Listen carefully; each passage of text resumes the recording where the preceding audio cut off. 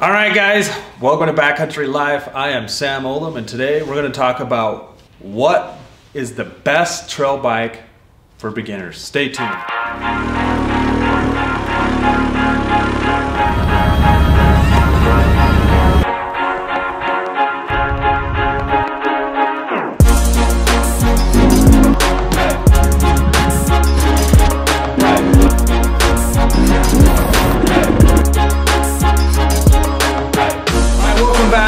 Back. Sam with Backcountry Life, and so you are here because you're interested in trying to buy a dirt bike to go ride all that single track, ride the trails, but you're not sure which bike is going to be the best bike to buy. So you have tons of different options, which is good, but then also at the same time can be confusing and you're not 100% sure. So, just to give you a little bit of background, I've been dirt biking for a very long time. I got started in dirt biking as an adult though. So, and I ride a ton of single track, but I do like to ride some of the other stuff as well. But here's the thing. Most guys will say, you know, they'll listen to their buddies or someone or read online and they say, go out and buy a 450 four stroke dirt bike. I think that's a big mistake. The goal you have for single track or trail riding is to have as much fun as possible.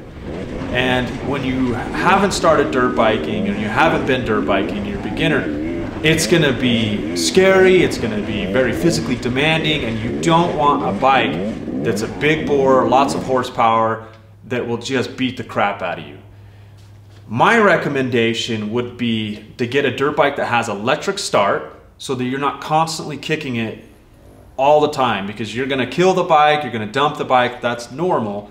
But you know, when you have to kick the bike every time, especially if you're in a situation that's a little bit off camber, it really takes a lot of energy out of you and makes your experience worse. So get a bike with electric start. And luckily, there are bikes from like 2005 on that have that magic E start button.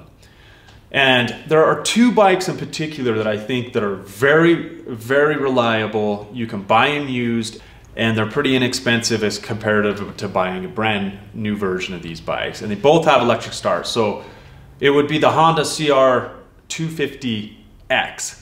So the Honda CR F 250X.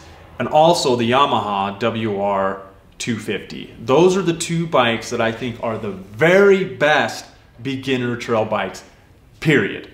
I mean, some guys will say, well, maybe like the XR 250, the XR 400 or something like that maybe. But those two bikes have electric start. They're very reliable. They have a modern suspension, a modern frame, and they pretty much can be ridden anywhere.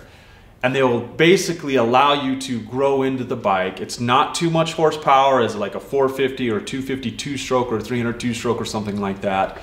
It's going to be your best bet. So that's what I would recommend doing if, if you were a beginner and wanted to uh, buy a bike. Now, if you don't want a four stroke, there are some options to go two stroke.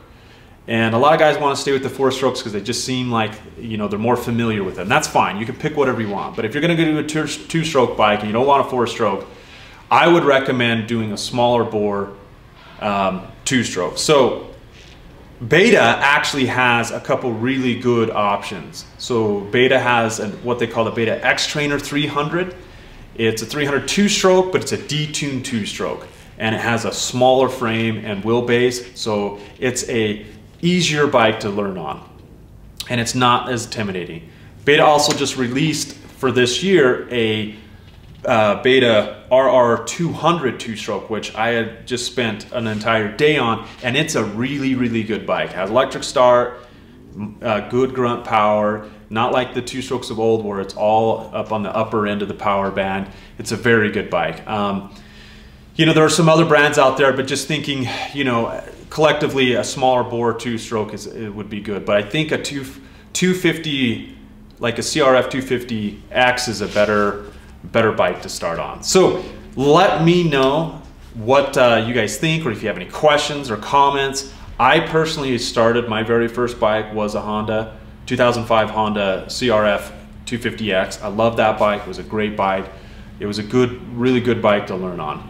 Um, so hit me up in the comments if you uh, have any questions or anything like that. And then the other thing is if you guys haven't already subscribed, make sure you hit that subscribe button, follow, follow us, like us, and thanks for watching.